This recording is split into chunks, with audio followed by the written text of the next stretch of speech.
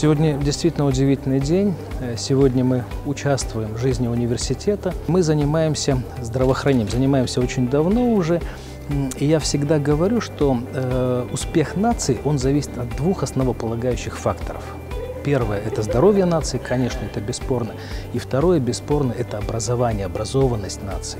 Вот когда эти два вектора совпадают, то нацию, безусловно, ждет успех. Мы будем строить э, полноценную по европейским стандартам клинику, которая будет обслуживать студентов и э, преподавателей университета.